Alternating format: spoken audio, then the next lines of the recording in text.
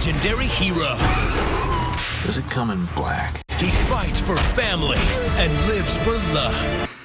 What the fuck was that? Christian Bale and Katie Holmes. Come on, it's not who I am underneath, but it's what you say that defines me, and you fucked it up. Fights for family and lives for love? he lives for love! You live for love! How can I fight for you guys when you were shot to death? Not even I would say that about you, Batman! Batman Begins.